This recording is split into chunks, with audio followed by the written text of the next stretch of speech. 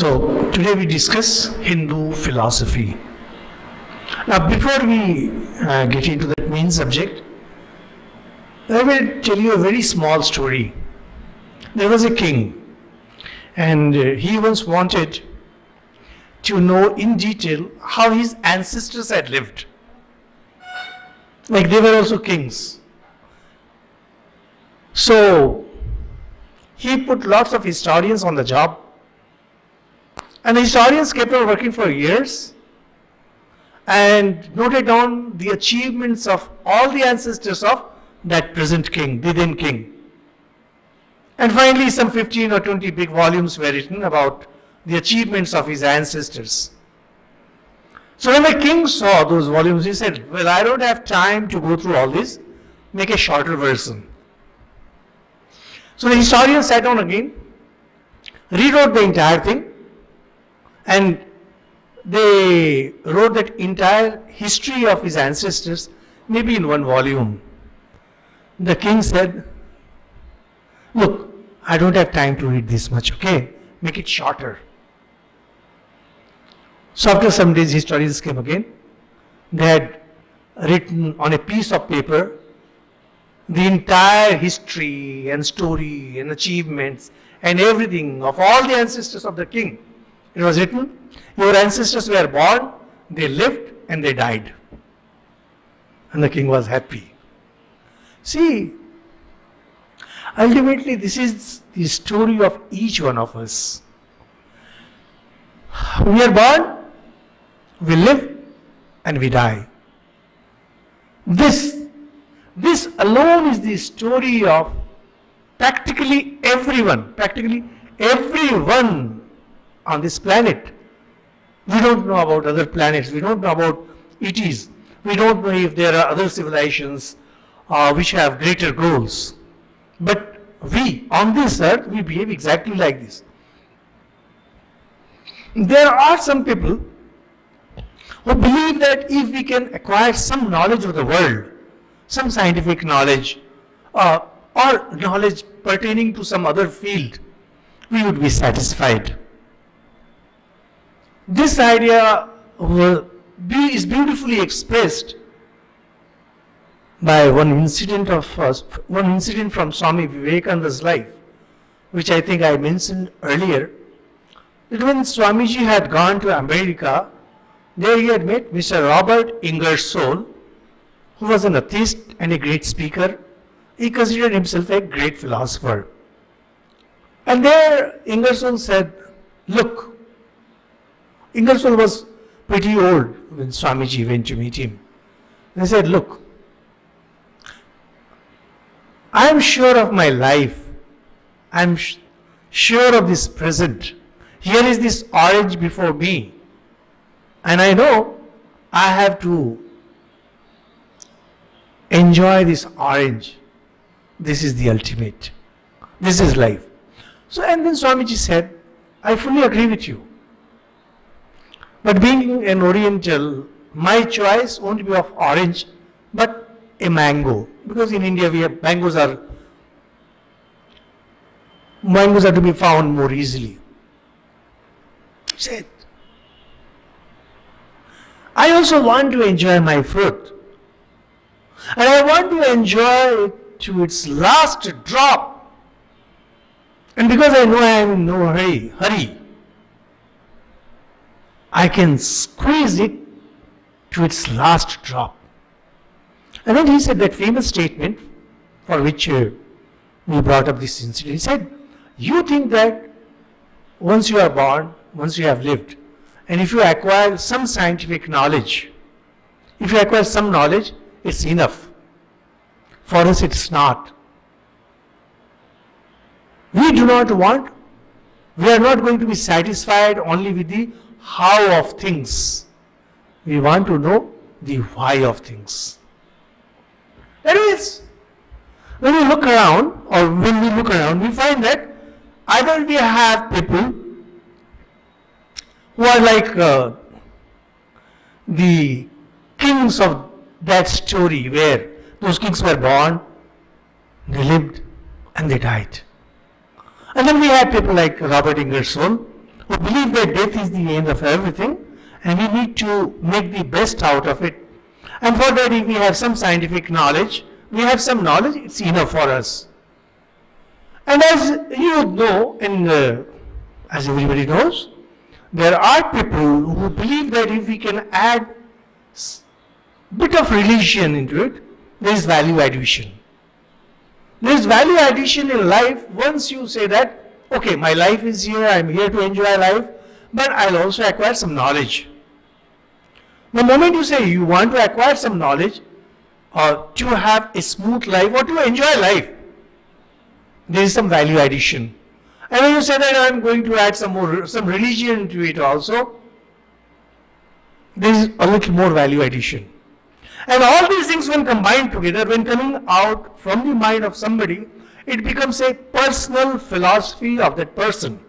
Remember it whenever we talk of philosophy, ultimately it's personal philosophy. Everybody has his own philosophy and when we say that I'm a follower of this philosophy or when, when we say that I'm a follower of this religion, nobody is ever a follower, full follower of any system. Everybody adds something from his or her own side. And ultimately it's your personal philosophy, personal outlook and personal religion because you always add something from your own side. So anyway, there is this personal philosophy and in this personal philosophy when you go to somebody who thinks that, that death may or may not be the end of everything, gaining some knowledge may or may not be quite important and all out religion is not possible, a bit of religion is possible. And then if you go on checking with that person what he means by religion, you will invariably find that they believe in a God who is sitting somewhere higher up in the sky and from where he looks after our, after our affairs. And it's God who keeps us safe, who keeps us happy, and things like that. It's more like, like a grandpa in the family who tries to make his grandchild happy, playing with him, cajoling him, give him chocolates and things like that. And uh, compared to, in relation to grandpa, God is slightly different in the sense that we believe that we need to respect his words, we need to respect his commands. And if there are transgressions, we call that sin, and they need expiation.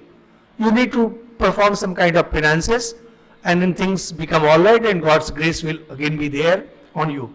Now, see, it's something very interesting that, to be very honest, religion has nothing to do with such a belief.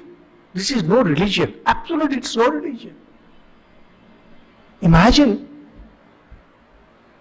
just think, For the simplest things that you do in your life, simplest thing, even brushing your teeth, you need to be trained. And uh, if you if you are net savvy, if you just look, if you check for how to brush your teeth properly, you will find that many people have written how to brush your teeth properly. In earlier times, in uh, great magazines like Reader's Digest, they would, you know, write articles on that, how to do this, how to do that. And as you advance in things, you find that training and more training needs to be there to do even the simpler things, how to make a marriage work. If this thing had been told to an Indian, say 100 years ago, he would have been shocked. What do you mean by marriage work? Marriage always works. What do you mean by how to make marriage work? How to make a relationship work? People would be horrified. What do you mean by relationship works? It always works. But now you have books. You have books like How to be happy in life. What do you mean by how to be happy in life? Well, that's the only goal of life. How to succeed in life. What do you mean by success? We are Karma Yogi. We are supposed to go on doing work. Success depends on God. But see, there are hundreds and thousands of books on these subjects. When it comes to religion, everybody thinks that he or she is the master. He or she knows everything. The moment you try talking to somebody about religion, I know everything. I know. No, no, no, don't.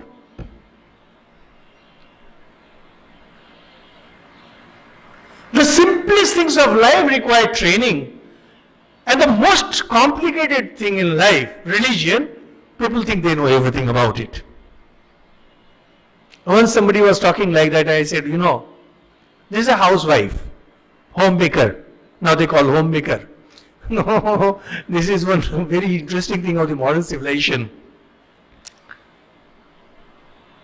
Shakespeare had famously said that a rose called by any name would sweet would smell the same. We keep on changing the name. So housewife becomes housemaker. And after some days the name will again change to something. So there is this housewife, she cooks. She puts together the ingredients and she comes up with some uh, ingredients, name, spices and all, and she comes up with some beautiful dish.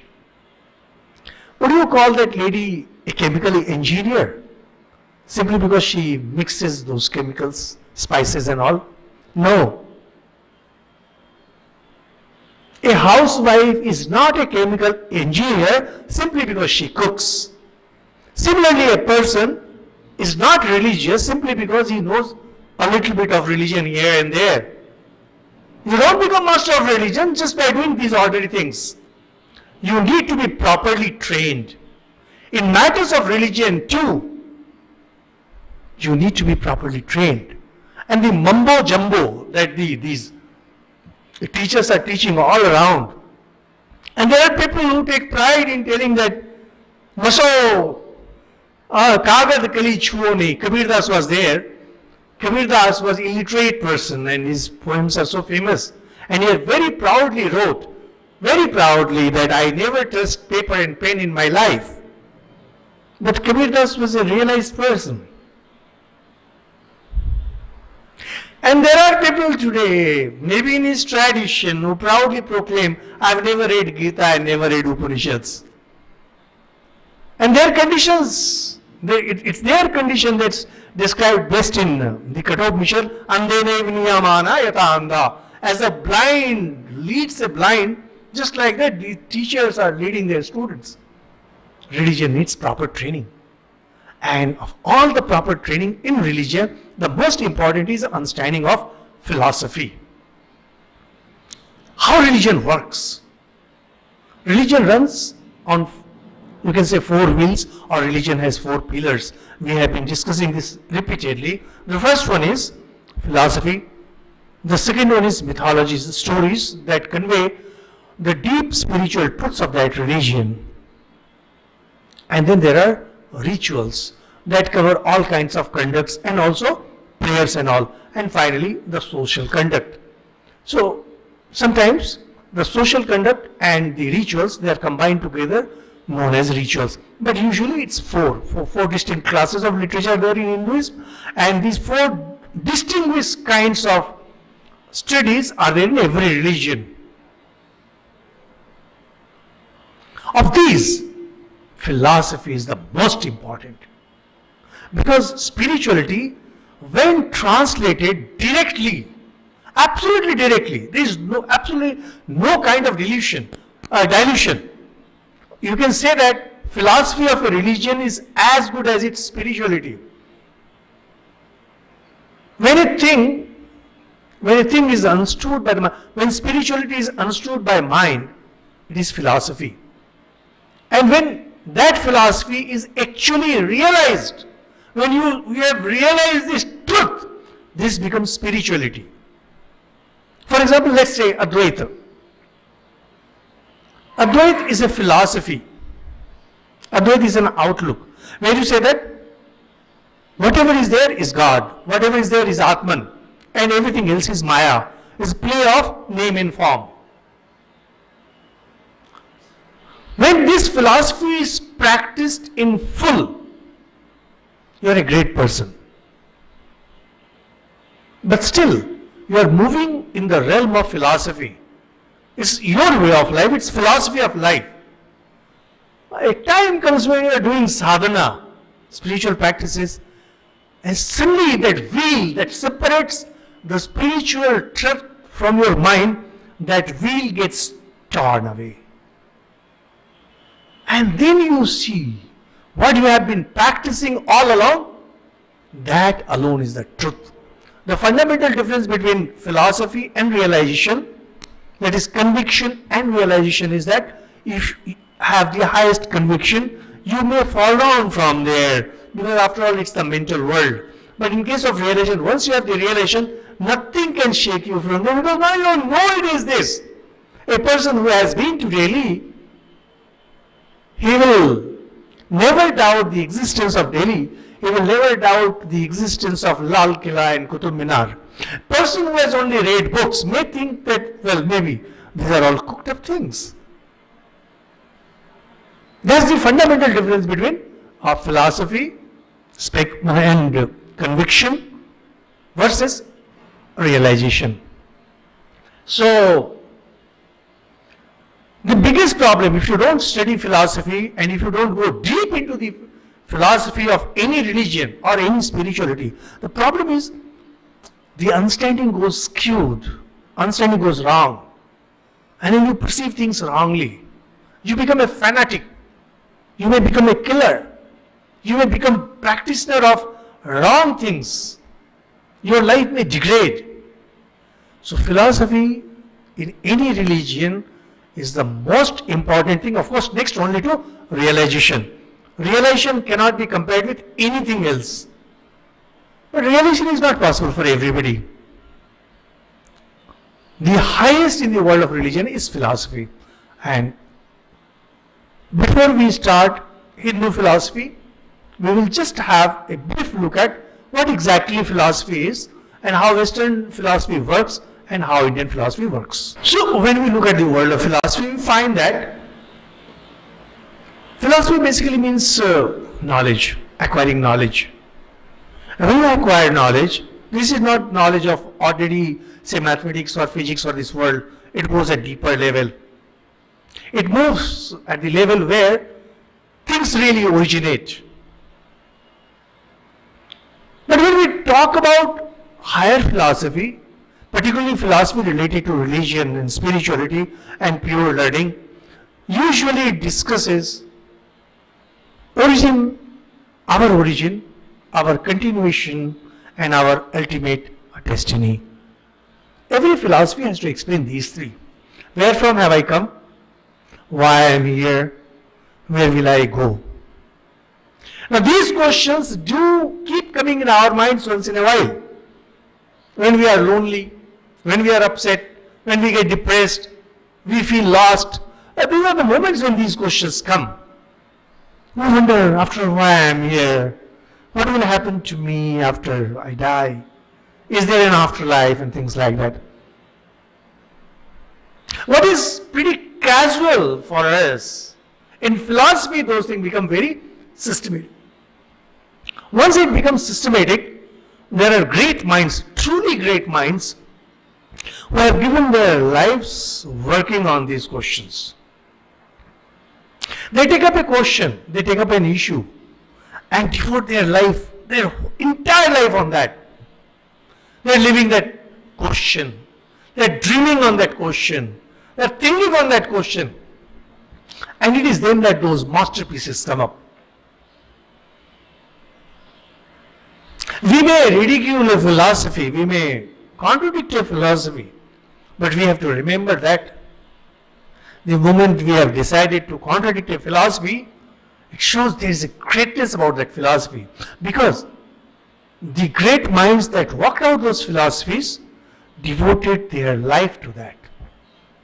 Now when we look at Western philosophy, it's a huge philosophy, genuinely a huge philosophy. And it's very difficult to master Western philosophy excepting by the, the great teachers. There are great university professors, they really, they, they alone can master Western philosophy. It's not possible for us commoners to master those things. But for our convenience and to understand uh, things properly and to get Hindu philosophy in perspective, we need to just know a little bit of Western philosophy. If you look at Western philosophy, very crudely speaking, if we are talking very crudely, we can say that uh, Western philosophy can be organized into four types. The first one, which is uh, uh, most crude, is known as empiricism. Empiricism. Empiricism is, uh, it means the knowledge that you acquire through your senses alone is true. Empiricism. is a very important philosophy. In fact, uh, whole of science runs on empiricism. Entire Western science runs on empiricism. The knowledge that one acquires through senses to one's mind and then works it out, that is empiricism. And empiricism plays such an important role in science that when Newton started coming up with his uh, equations, the, the then scientists, they started objecting. Because the moment you bring in equations, mind has entered. And mind has entered more than the senses. So they were not happy with Newton. They were just not happy with Newton. Simply because science had moved from being empirical to entering into more of thought world. At the same time, this empiricism has harmed science like anything. Because, uh, because it did not allow even any kind of thinking, any kind of uh, mental process in that. And French science, scientists in earlier times, they were such die-hard empiricists that they won't allow any kind of thinking. But slowly they found that no, this, this, this cannot continue. And then came rationalism. Rationalism is uh, slightly different from empiricism because Russell says that things need to be worked out reasonably. Reason is more important than anything else. In empiricism, there is only direct observation. Whatever knowledge you gain through your senses is important. But in rationalism, what you reason out is more important. And compared to that, there is one realism. Realism is more interesting. You know, these words sometimes uh, we confused. Uh, people confuse realism with empiricism. Realism says that a thing exists even if there is no one is observing that. Okay, so you don't even need uh, you don't need rationalism. To give a very simple example, there is a forest and a tree falls down because of some storm. An empiricist will say that the tree never fell because nobody saw it. And the rationalists say that if you apply reasoning, there was storm, a tree must have fallen. And realism says, forget whether anybody observed it or not. Thing will always be there. Whether anybody perceives or not perceives, if there is anybody to perceive this world, it is very much there. And outside these three come idealism.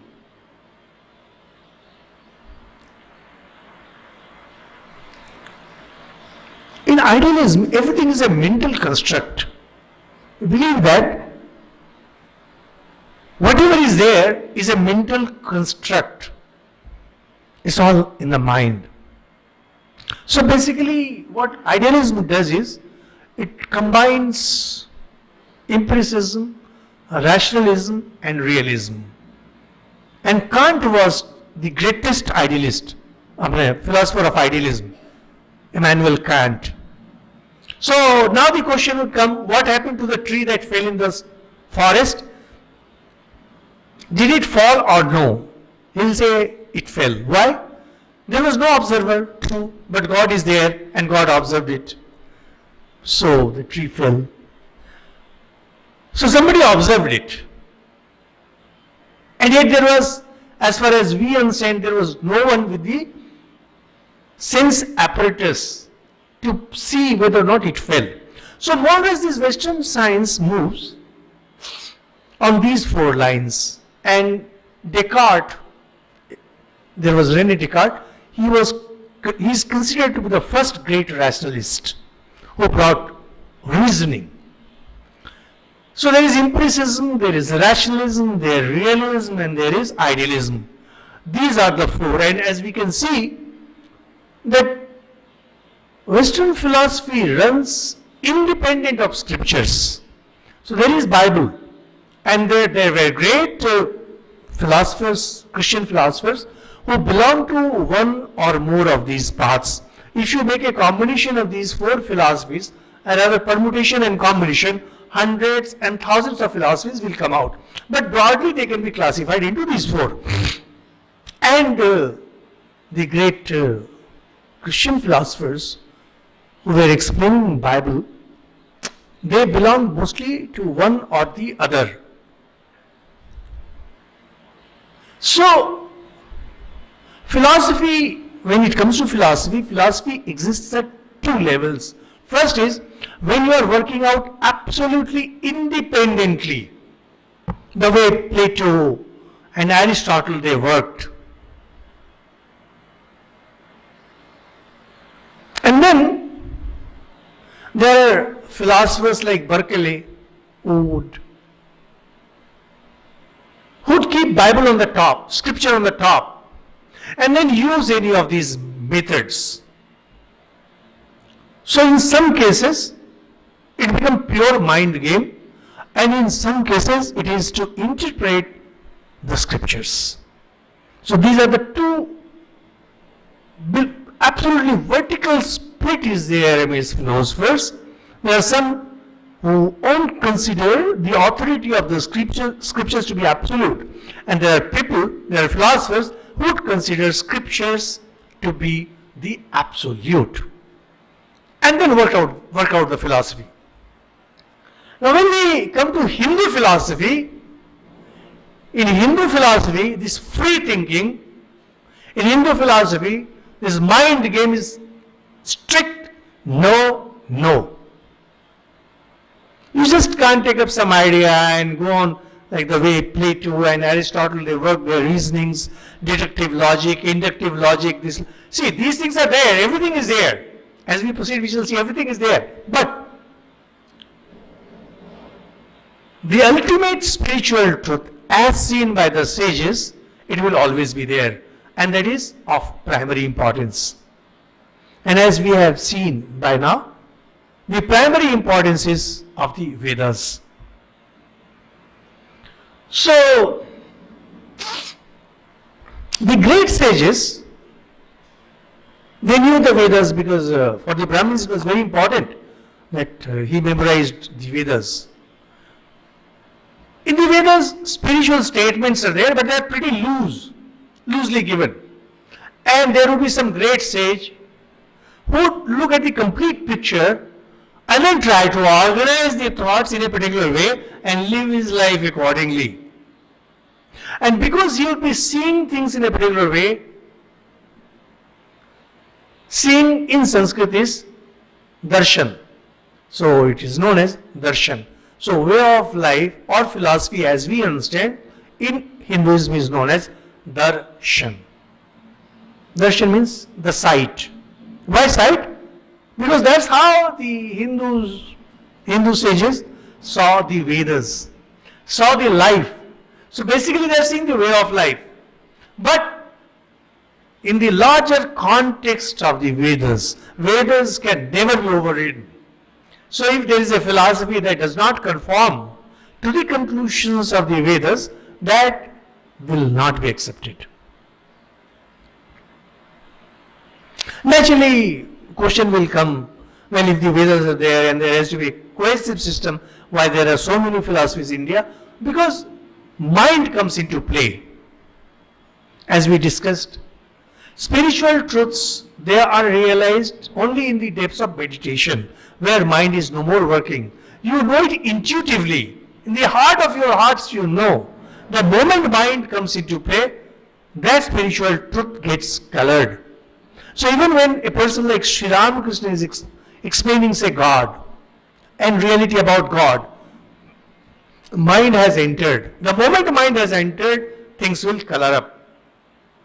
And when those things are being organized properly, things will color up more. And there would be many, many, and many philosophies. When you look at the, all these many, many, many philosophies,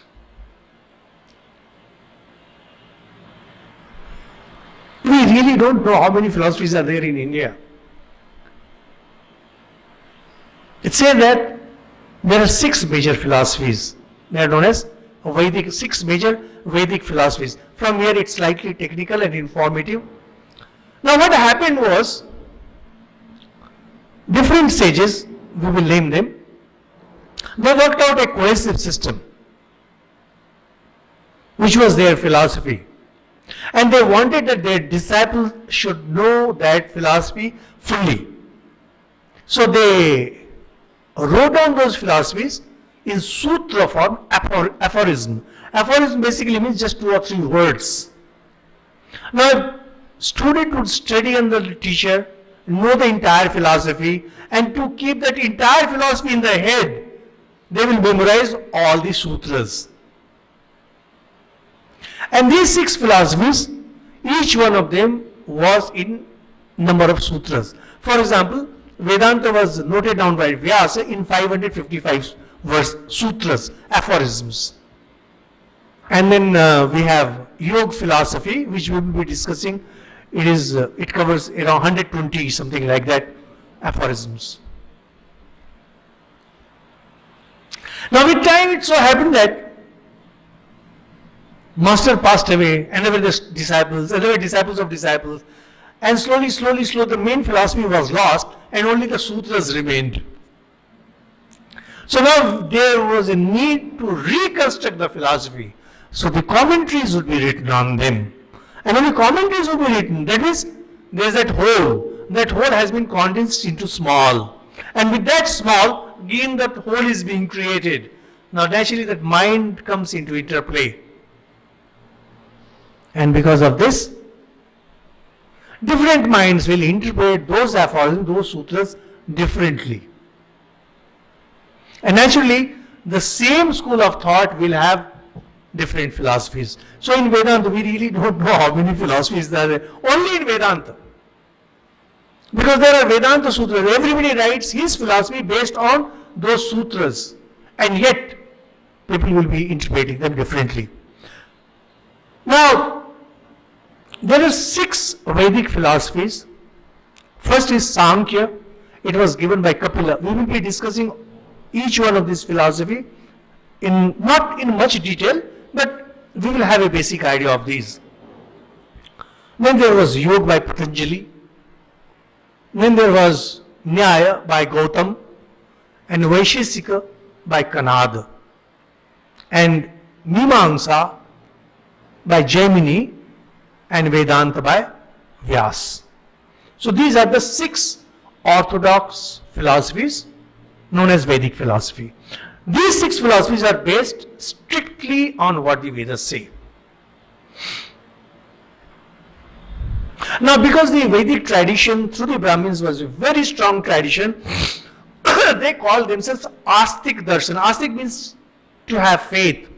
And Astik Darshan means to have faith in the Vedas. The philosophies that are based on the Vedas are known as Astik Darshan and the philosophies that are not based on the Vedas are known as Nastik Darshan. Uh, in Indian languages, Astik means one who has faith in God, Nastik means an atheist. But here, Astik means the philosophy that is derived from the Vedas, Nastik means that which is not derived from the Vedas. Now each of these philosophies was written by some great mind and it's very difficult to study them, to keep them in mind. In 14th century, there was one great uh, scholar, Madhavacharya, should not be confused with Madhvacharya, who taught dualist. No, Madhavacharya was a scholar. What he did was he was a great mind. So he collected all the available philosophies of India and wrote a beautiful work in verses. And there he writes 16 philosophies, mentions 16 philosophies. In those 16 philosophies there is Shaiva philosophy Pashupat and there is this uh, Shakti philosophy also, and Jain philosophy and Bauddha philosophy, etc. But the division, six Vedic philosophies and other non-Vedic philosophy, it continues. And uh, the great minds who wrote uh, Indian works on Indian philosophy like S.N. Dasgupta and Dr. Radhakrishnan, and then there is uh, one beautiful book by from Calcutta University, placed by S.C. Chatterjee and D.M. Datta. It's, I think, simply a masterpiece, Indian philosophy. Very short and absolutely clear compared to others. So Madhavacharya wrote Sarva Darshan Sangra where he writes six, about 16 philosophies and from there we come to know about some of those philosophies which are not very popular. And uh, one of the very interesting philosophies that he writes in the beginning is the materialistic philosophy known as Charvak. Now if we leave out Charvak, which we will be discussing shortly, if you look at the remaining 15 philosophies, if you chance to read Sarvadarshan Sangra or any work on Indian philosophy, you will see that, that the goal of each of these philosophies, Indian philosophies, whether it be Vedic philosophy or be it non-Vedic philosophy. So Jainism, Buddhism and Pashupat and Shakta and Tantra, they are considered to be non-Vedic. And Vedic is, Vedic are these six. They are known as six systems of philosophy, षड Darshan, Sankhya Yoga, Nyaya Vaisheshika, Mimamsa Vedanta. And sometimes there also known as Purva Mimamsa Uttara Mimamsa goal of each of this philosophies including Charvaka is blessedness maximum happiness how they define maximum happiness is different in each of these philosophies. Now, since we are discussing only Hinduism, we will be discussing uh, only the six Vedic philosophies. We, we don't have time and we cannot really go into the details of other philosophies. And as far as Shaivism and Tantra is considered, we had touched a bit in Tantra and now those things have been absorbed in the general thinking, so we will not get into that. And we will only discuss Charvak and the other six Vedic philosophies. So, when it comes to, as, as we mentioned, that goal of each of these philosophies is maximum blessedness. Some say this can be achieved by going to the highest heaven. Some say it is through nirvana. Some say by freeing oneself from the cycle of birth and death. Some say by going to the highest heaven where one becomes one with God. Not one with God, resides in the abode of that God. So that is the general overview of philosophy and Indian philosophy. And from here we move on to the Indian materialists Charvak. So Charvak are the Indian materialists.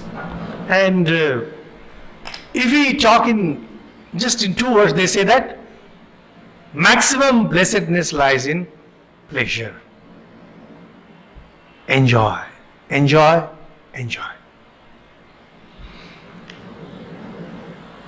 Now, surprisingly, there is no systematic philosophy of the Charvak to be found anywhere. And yet, uh, whenever you read any work by noted philosopher of the ancient philosophers, you will see that they will always bring in Charvak as materialists and will use their arguments to counter them. So, it, uh, it means that uh, there never was any system called Charvak. And it is more of you know product of mind by the great sages who brought in the idea that a common man thinks like that and how wrong and how irrational it is. Some others say that, some others, because see, it has to be, to be philosophy, it should have Vedic sanction. So there, there, there is one or two verses here and there in the Vedas that seem to be indicating the spirit of free thinking. And there was one sage, Lok, and Lok, Lok had one son, Brihaspati. And they say that Brihaspati is the founder of Charvak philosophy. And because he was son of Loka, this philosophy is also known as Lokayata. Lokayata. And Charvak, uh, there is no unanimity about why it's known as Charvak. Some say that it is from Charu vak, beautiful, sweet sounding words. And some say it's because of Charvan. It's all about eating and Charvan means eating and ruminating. Uh, but Brihaspati was also the teacher of the gods. So how can Brihaspati be teaching such a preposterous philosophy which we shall discuss? So it says that Brihaspati taught it deliberately so that the vicious minds not fit to study Vedas should go away.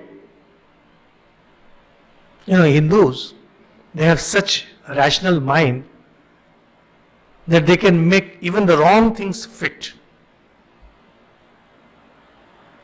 We just not mention that Bhagwan Buddha, Lord Buddha, belongs to Nastik Darshan because his philosophy is not based on the Vedas.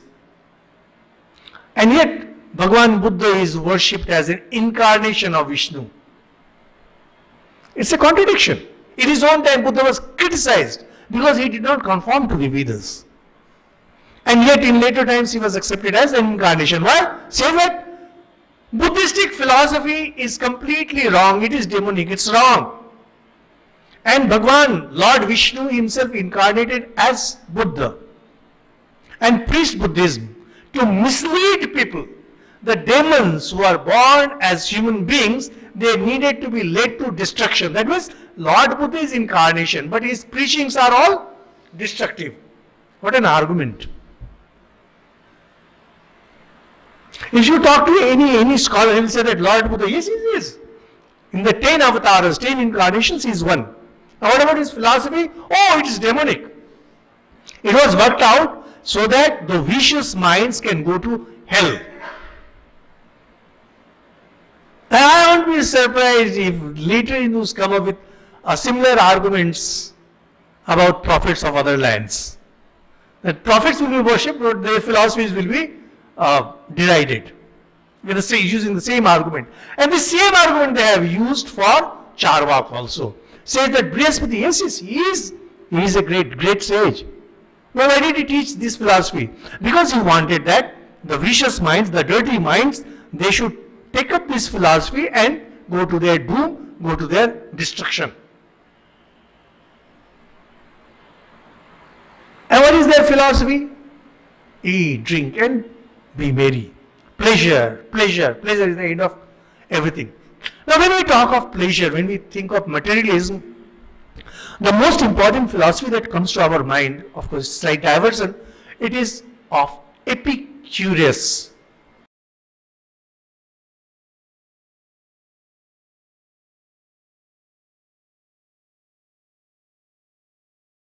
Epicurus, he was a Greek philosopher uh, in 300 BC or so. And uh, Epicurus was a great sage, he was a sagely person. And um, he did not like the outlook of Plato and Aristotle. He was opposed to them. He said that maximum pleasure is the goal of life, exactly the way Charvak say.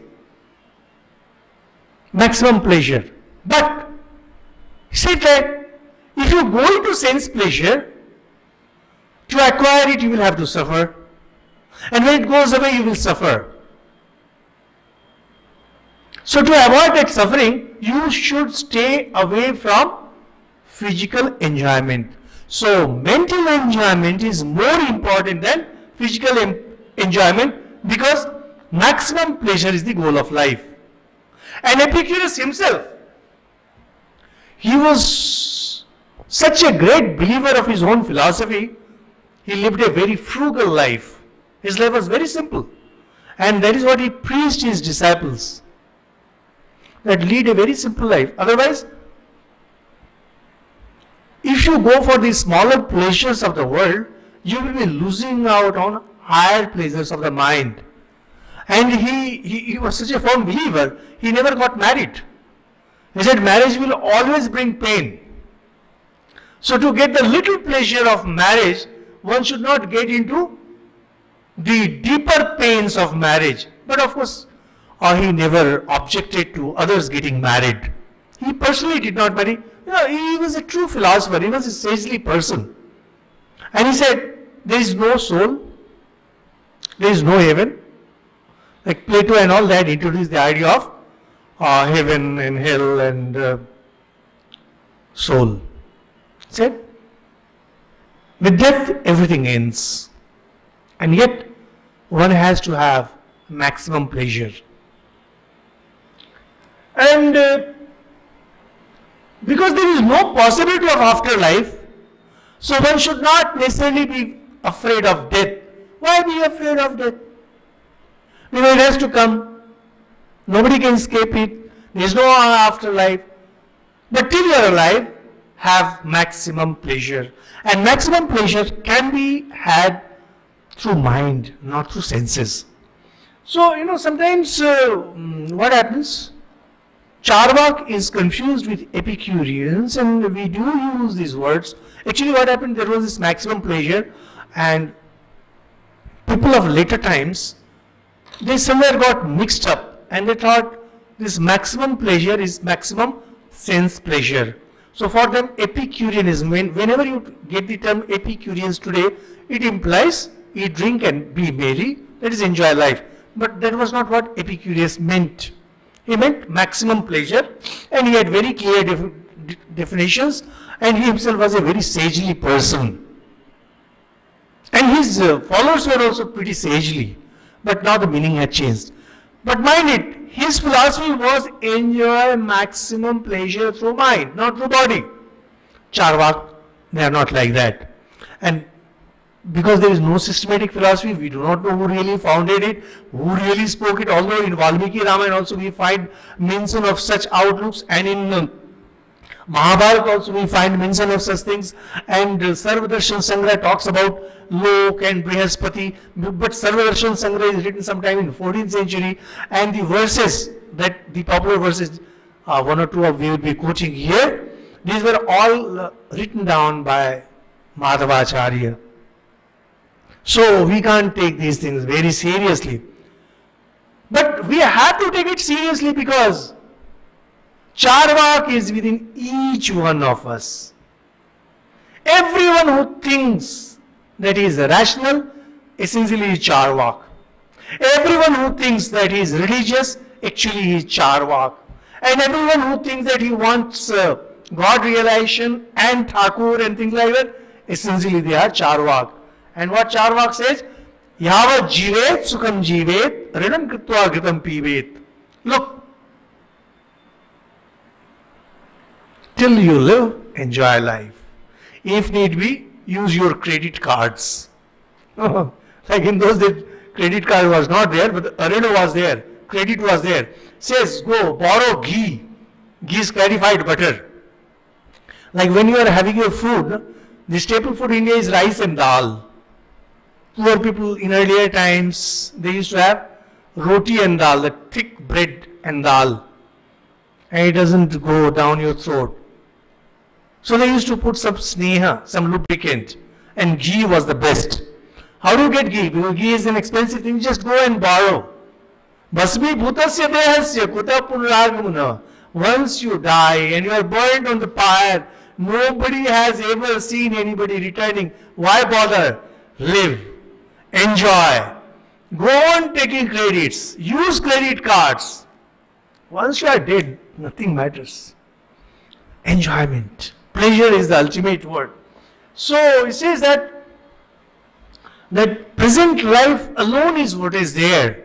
There is no afterlife, nothing. And how do I came? What is my soul? That question of soul comes. Who am I? As we discussed, every philosophy has to explain. Who am I? Why do I live? Where will I go? So Charvak also explains this. Who am I? You were born through the lust of your parents. Your parents lusted and the result was you. You are the mistake of your parents or product of your parents in whatever way you see. And what is the end? Death is the end of everything. Dehasya. Once you are burned to ashes, nothing else remains. So don't worry. And uh, but what about this God, soul? Uh, there is no God. There is no soul other than this body. There is no heaven. There is no hell. And so how come all this? Is creation is affected by matter acting on matter. This is what makes it materialism. Materialism essentially means where matter is the ultimate truth. Where from has the matter come? Well, it was all along there. But how is variation? Matter working on matter. It says, Jada bhoot vikareshu chaitanyam yatu drishyate. The way milk changes into curd, the way things uh, transform into other things. Just like that, there are occasions when dead matter, inert matter transforms into life form. There is no consciousness. Consciousness is basically the same as inertness, just that there is some kind of transformation. Tamul Puk Chudanam. It brings an example like persons who eat pan, bitter leaves. There is bitter leaf, there is lime, and some khair is put you eat and it gives out red color. Just see how red color comes out while eating pan and none of them is red and yet pan comes out. The way the chemical combination within your mouth, your saliva and your betel leaf and betel nut and lime, all those things combine together to give red color. Just like that, different matters combine together to give life. There is no consciousness other than this. And no question of any afterlife.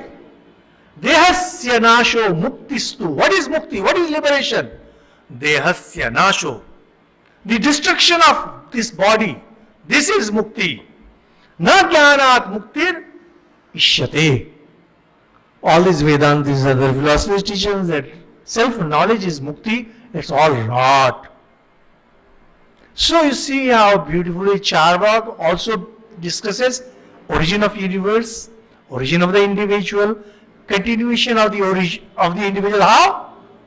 Rinam katva gatam pivet in your life. And what's the mukti end? Death. What is mukti? Destruction of the body. Matter has disintegrated and that is mukti. Na swargo, na apavargo. Like various philosophers will be discussing about heaven, mukti, etc. Swarga and apavarg says Vamevatma parlokika. There is neither soul, there is no afterlife, there is no heaven, nothing, nothing, nothing. There is not even law of karma. All this law of karma, etc., that people discuss, there is no law of karma. Whatever happens, it happens due to chance, due to coincidence, luck, etc. Now, what about the Vedas? The Vedas spiritual realization of the great sages, the Brahmins. So there comes the master stroke by the Charvak. Trayo Vedasya Kartaro. The writers of the three Vedas are Bhand, Dhurt, Nishashara. They are hypocrites and they are cheats and they are demonic. The Brahmins, the Brahmins, so called the sages who wrote the Vedas, Vedasya. Sam, Rik, Yajur. Collectively they are known as triad, Veda. Those who wrote the Vedas, they are Banda, Dhurta. They are the hypocrites, the cheats, and uh, they will go on telling that you want austerity. You want self-control because of the fear of the heaven. Do you mean to say that you will not cook food simply because beggars may come? Beggars may come asking for you and some guests may come, so you will not be cooking food.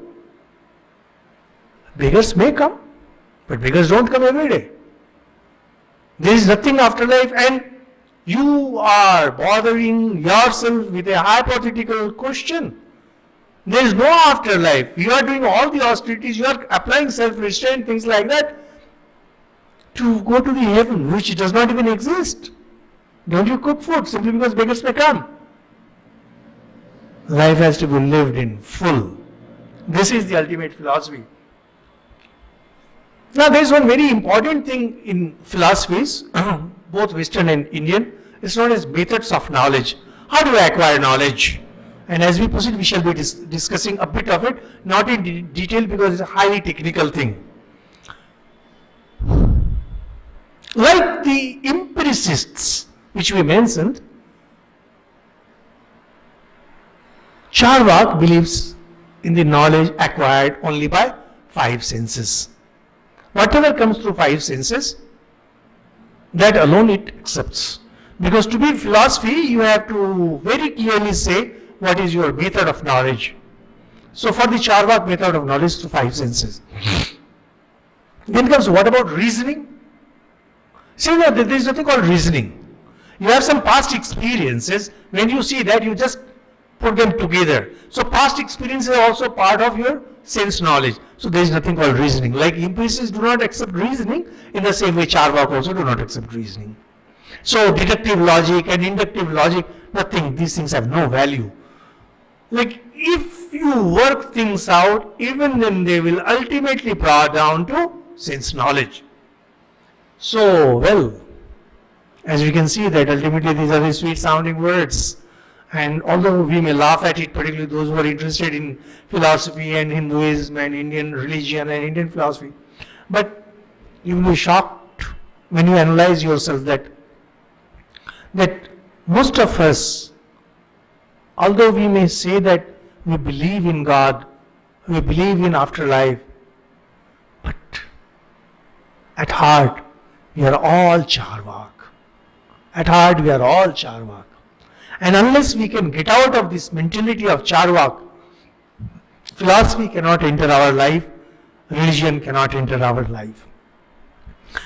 When we talked about gaining some knowledge in life, having a little brush with religion, we are forgetting that we use that knowledge and we use religion only to enhance our present life, to enhance our sense pleasure, which is the ultimate philosophy of the Charvak. We, we pray to God so that we may stay happy. But that is what Charvak says. So you are bringing God also into Charvak philosophy. You want religion also for the use of your materialism. There is science. Science is pure knowledge. But we use science in the form of technology so that our life is enhanced. So whatever we may say, we may, we may say that we are rational, our approach is rational, and I am scientific minded, and we have in Kolkata some people known as rationalists or something. I don't know hmm. There's some term for it.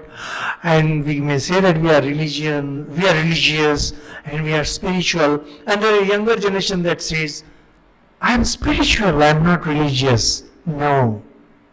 We are only charvaks. We are only materialists. We use science, we use religion, we use reasoning, and we use spirituality, everything just to enhance our sense pleasure.